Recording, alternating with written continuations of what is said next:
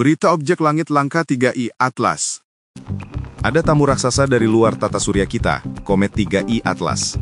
Ini bukan komet ordinary atau biasa. Komet ini menarik perhatian dunia karena origin atau asal-usul yang misterius.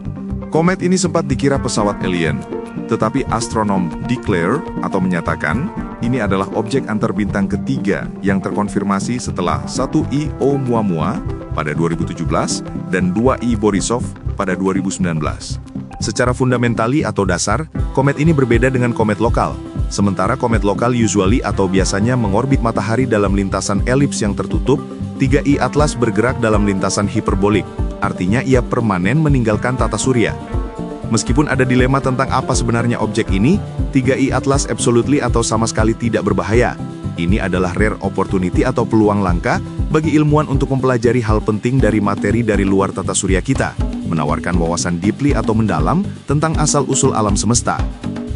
Mari kita monitor atau pantau tamu antar bintang ini, yang mana akan terlihat lagi di langit pada sekitar 19 Desember 2025. Ini versi bahasa Inggrisnya.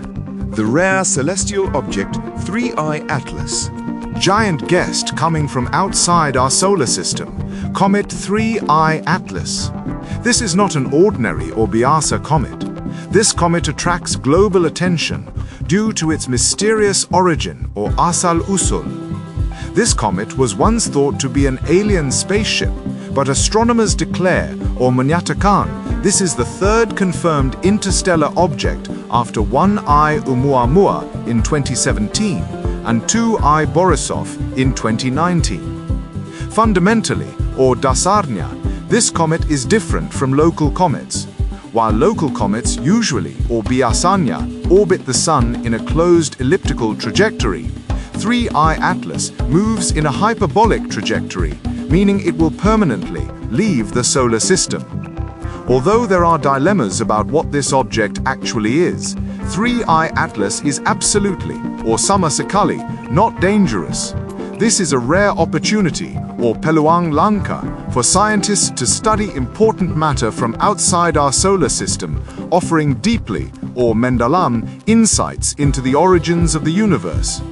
Let's monitor, or pantau, this interstellar guest, which will be visible again in the sky around December 19, 2025. Terima kasih sudah menonton, dan sampai ketemu di konten selanjutnya.